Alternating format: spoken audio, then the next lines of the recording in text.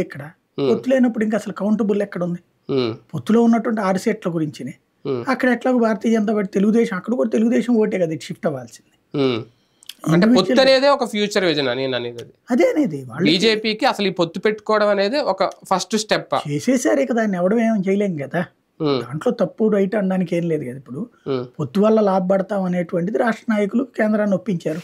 కేంద్ర నాయకత్వం కూడా సరే ఏమీ లేని దానికంటే ఏమీ లేని చోట ఆమదవృక్షం మహావృక్షం అని పొత్తు బెటర్ అనుకున్నారు. అలా కాకుండా మొన్న కనుక సీరియస్గా ఎఫర్ట్ పెట్టుంటే వాళ్ళు ఇండివిజువల్గానే పోటీ చేస్తుంటే ఇప్పుడు కాంగ్రెస్ పార్టీలో ఎన్ని చోట్ల పోటీ చేస్తుంది దాదాపు నూట యాభై చోట్ల అసెంబ్లీ చేస్తుంది. అట్లాగే పార్లమెంట్ స్థానాలు కూడా పోటీ చేస్తుంది. అట్లా చేయడంతో పాటు బలమైనటువంటి లీడర్లు వచ్చుండేవాళ్ళు. ఎందుకంటే కేంద్రంలో అధికారులు ఉంది కాబట్టి. కానీ మంచి అవకాశాన్ని వదిలేసుకుంది. ఎందుకు అంటే అవి గ్యారంటీ లేనటువంటిది. ఇదైతే కనుక గ్యారంటీ కదా వీళ్ళతో పొత్తు పెట్టుకుంటే అని.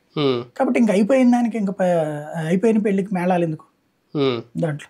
కానీ ఒక చిన్న చిన్న చేంజ్ ఏంటంటే ఇప్పటి వరకు జరిగిన పదేళ్ళ పాటు నరేంద్ర మోడీ గారు పరిపాలించిన వాళ్ళకి ఎక్కడా కూడా ఎక్కడ మోడీ పేరు అనేది ఇన్ని రోజులు ఎక్కడా వినిపించలేదు. అంత పథకాల్లో కూడా మీరు చూస్తే PM Kisan PM Yojana PM PM PM అనే ఉంటుంది.